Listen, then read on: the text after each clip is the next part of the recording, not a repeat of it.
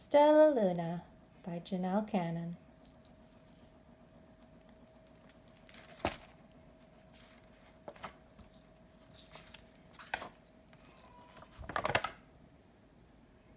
In a warm and sultry forest, far, far away, there once lived a mother fruit bat and her new baby. Oh, how Mother Bat loved her soft, tiny baby. I'll name you Stella Luna, she crooned. Each night, Mother Bat would carry Stellaluna clutched to her breast as she flew out in search for food.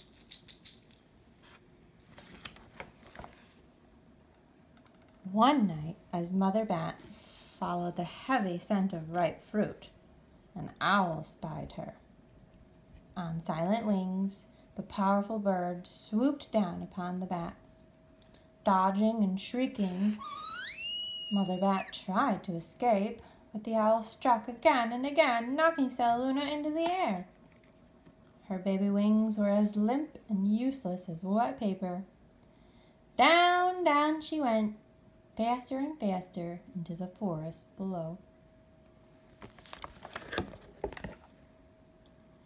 The dark leafy tangle of branches caught Stellaluna as she fell. One twig was small enough for Stellaluna's tiny feet. Wrapping her wings about her, she clutched the thin branch, trembling with cold and fear. Mother, squeaked Stellaluna, where are you? By daybreak, the baby bat could hold on no longer. Floop! Stella landed headfirst in a downy, soft nest, startling the three baby birds who lived there. Stellaluna quickly clambered from the nest and hung out of sight below it. She listened to the babble of the three birds. What was that? cried Flap. But it's hanging by its feet, chirped Flitter. Shh! There comes Mama, hissed Pip. Many, many times that day, Mama Bird flew away, always returning with food for her babies. Stellaluna was terribly hungry, but not for the crawly things Mama Bird brought. Finally, though, the bat could bear it no longer. Climbed into the nest, closed her eyes, and opened her mouth. In dropped a big green grasshopper. Stellaluna learned to be like the birds. She stayed awake all day and slept at night. She ate bugs, even though they tasted awful. Her bat ways were quickly disappearing. Except for one thing, Stellaluna still liked to sleep hanging by her feet. Once, when Mama was away, the curious baby birds decided to try it too. When Mama Bird came home, she saw eight tiny feet gripping the edge of the nest. She cried, Get back up attention! You're gonna fall and break your necks!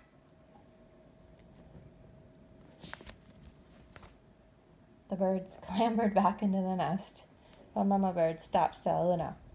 You are touching my children to do bad things. I will not let you back to this nest unless you promise to obey the rules of this house.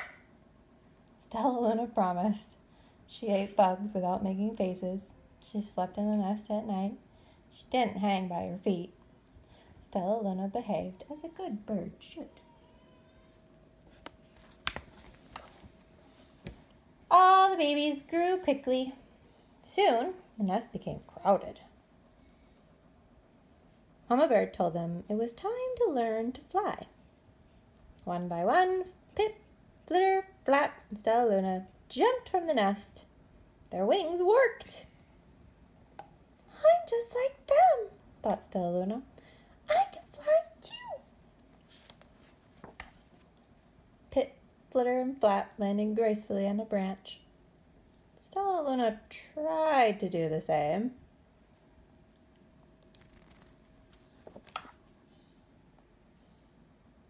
How embarrassing.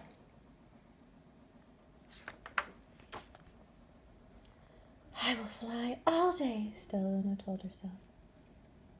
Then no one will see how clumsy I am. The next day, Flitter, Flap, and Stellaluna went flying far from home. They flew for hours, exercising their new wings. The sun is setting. warned Flitter. We better go home or we'll get lost in the dark, said Flap.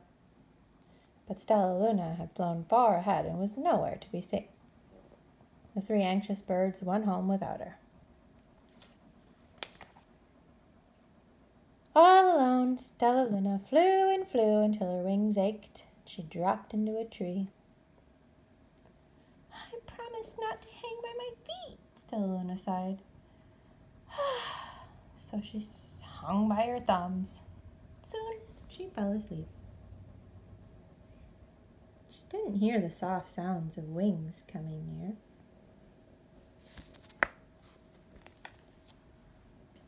Hey, A loud voice said. Why are you hanging upside down? Stellaluna's eyes opened wide. She saw a most peculiar face. I'm not upside down. You are. Stellaluna said. Ah, uh, but you're a bat. Bats hang by their feet. You're hanging by your thumbs. So that makes you upside down, the creature said. I'm a bat. I'm hanging by my feet. That makes me right side up. Stellaluna was confused. Mama Bird told me I was upside down. She said I was wrong.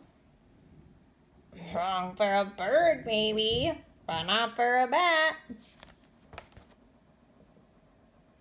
More bats gathered around to see the strange young bat who behaved like a bird. Stellaluna told them her story. You ate bugs, stuttered one. You slept at night? gasped another. How very strange, they all murmured.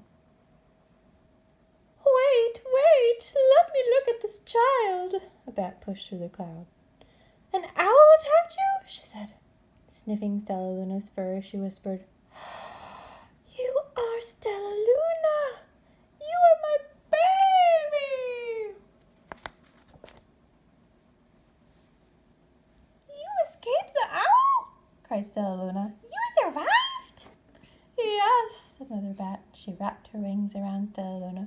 Come with me, and I'll show you where to find the most delicious fruit. You'll never have to eat another bug as long as you live. But it's night time, she squeaked. We can't fly in the dark or we'll crash into the trees. We're bats, said Mother Bat. We can see in darkness. Come with us. Stellaluna was afraid, but she let go of the tree and dropped into the deep blue sky. Stella Luna could see. She felt as though rays of light shone from her eyes. She was able to see everything in her path.